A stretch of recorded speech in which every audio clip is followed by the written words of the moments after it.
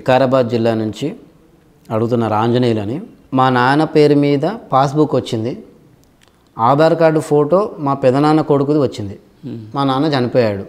మా నాన్న పేరు మీద ఉన్న భూమి మా ముగ్గురు అన్నదమ్ములకు కావాలంటే అవ్వట్లేదు. ఇక మాపై మా నాన్న భూమి మా నాన్న పేరు మీద ఉన్న భూమి మా పేరు మీద అవ్వదా? ఎలా ఎలా పరిష్కరించుకోవాలి? అంటే ముందు ఆధార్ వివరాలు తప్పుపడ్డాయి అంటున్నారు కాబట్టి అవి ఆ వివరాలు సరి చేయించుకోవాలి. ఆ సరి చేయించుకోవాలంటే జిల్లా కలెక్టర్కే దరఖాస్తు పెట్టుకొని పలానా పట్టాదారుడి భూమి వారి పాస్ పుస్తకంలో తప్పుడు ఆధార వివరాలు పడ్డాయి కాబట్టి వారు సరిచేయండి అని పెట్టుకోవాలి.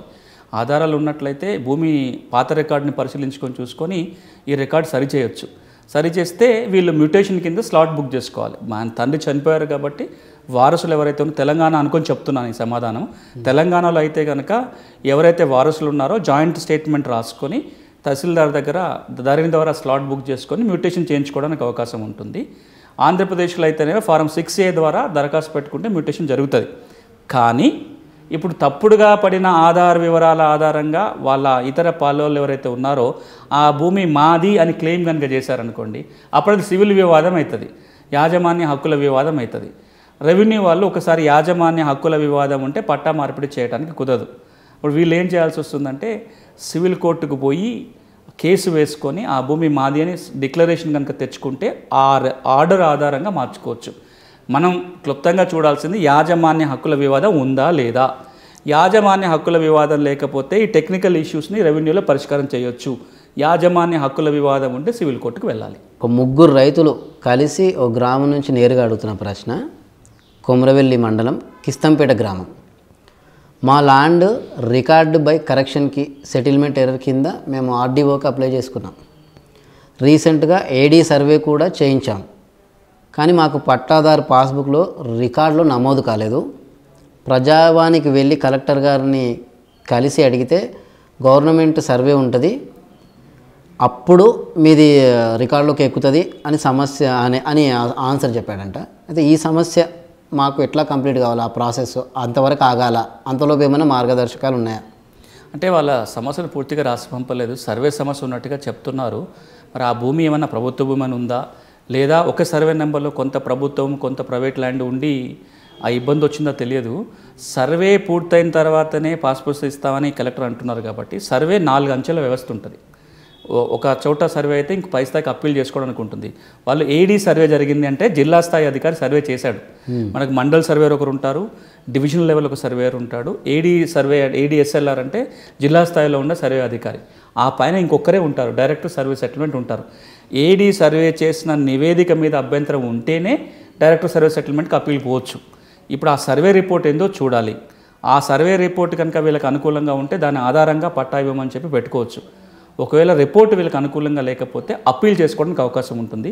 వాళ్ళ పూర్తి వివరాలు ఉంటే ఇంకా లోతుగా చెప్పొచ్చు కానీ వాళ్ళు చెప్పిన వివరాల మేరకు సర్వే అభ్యంతరాలు ఉన్నట్లయితే మీరు డైరెక్టర్ సర్వే సెటిల్మెంట్కి అప్లై చేసుకోండి లేదా సివిల్ కోర్టును ఆశ్రయించాల్సి వస్తుంది. అంటే ఇప్పుడు అదే గ్రామంలో ఒకే సర్వే నెం సర్వే నెంబర్ గురించి కానీ రెండు సర్వేల నెంబర్ గురించి కానీ చేయాలని మెన్షన్ చేసి ఉంటే?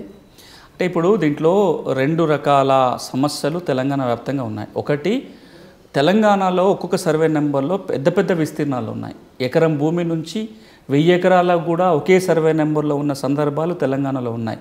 ఆ ల్యాండ్లో కొంత పట్టా ల్యాండ్ ఉంటుంది కొంత గవర్నమెంట్ ల్యాండ్ ఉంది కొంత అసైన్ చేసిన భూమి ఉంది కొంత భూధాన్ భూమి ఉంది. ఇప్పుడు పట్టాలు ఇవ్వాల్సి వచ్చినప్పుడు ఏది ఏ భూమో నిర్ధారణ కాలేదు కాబట్టి పట్టాలు పెండింగ్లో పెట్టారు. అది ప్రభుత్వ భూమా ప్రైవేట్ భూమా నిర్ధారణ కాలేదు కాబట్టి. ఇక రెండో సమస్య తెలంగాణలో ఏమొస్తుంది అంటే ఈ భూమి సర్వే చేయాలన్నప్పుడు సర్వే చట్ట ప్రకారం మేము మొత్తం సర్వే నెంబర్ హద్దు మాత్రమే పెడతాం కానీ అందులో ఉన్న సబ్ డివిజన్స్ మేము చేయము అనేది సర్వేయర్లు చెప్తున్న మాట. ఒక సర్వేలో నెంబర్లో ఆరు ఎకరాల భూమి ఉంది. నలుగురు చేతిలో ఉంది ఆరు ఎకరాలు. ఈ నలుగురిది ఎవరికి వారికి గట్టు పెట్టమంటే ర- సర్వే అధికారులు ఏం చెప్తుంటారు? సర్వే చట్ట ప్రకారం మాకున్న నియమాల ప్రకారం మొత్తం సర్వే ఆ నంబర్ యొక్క బౌండరీ మాత్రమే కొలుస్తాం కానీ సబ్ డివిజన్ చేయము అనేది చాలామంది తీసుకున్న స్టాండ్. దీని మీద మనం క్లారిఫికేషన్ ప్రేక్షకు కూడా తెలియాల్సింది ఏంటంటే రెండు వేల మూడు రెండు వేల నాలుగు ఆ సందర్భంలోనే రాష్ట్ర స్థాయి నుంచి ఒక క్లారిఫికేషన్ వెళ్ళింది. డైరెక్టర్ సర్వే సెటిల్మెంట్ కార్యాలయం నుంచి జిల్లా కలెక్టర్కి ఆదేశాలు వెళ్ళినాయి. ఏం చెప్పారు ఆ ఆదేశాల్లో అంటే సబ్ డివిజన్ చేసే అధికారాలు కూడా మీకున్నాయి. కేవలం ప్రభుత్వ భూములు సబ్ డివిజన్ మాత్రమే కాదు పట్టా భూములలో కూడా సబ్ డివిజన్ చేసే అధికారాలు సర్వే యంత్రాంగానికి ఉన్నాయి. మీరు చెయ్యండి అని చెప్పి ఆదేశాలు వెళ్ళినాయి. ఓకే. కానీ దానికి భిన్నమైన అభిప్రాయాలు చాలామంది కలెక్టర్లు తీసుకొని మేము సబ్ డివిజన్ చెయ్యము కేవలం బౌ అవుటర్ బౌండరీ మాత్రమే కొలుస్తాం సబ్ డివిజన్ కావాలంటే కోర్టుకు వెళ్ళండి అని అంటున్నారు. ఇంకొక సందర్భంలో మన సర్క్యులర్ గురించి కూడా లోతుగా మాట్లాడుకుందాం. ఆ సర్క్యులర్ కాపీ గురించి మీకు మళ్ళీ చెప్తాను. ఇప్పుడు వీళ్ళ సమస్య అది కాదు. వీళ్ళ సమస్య ఏంటంటే ప్రభుత్వ భూమా ప్రైవేట్ భూమా సమస్య ఉండుండొచ్చు. ఆ సర్వే నివేదిక మీద అప్పీల్కి వెళ్ళటం మంచిది.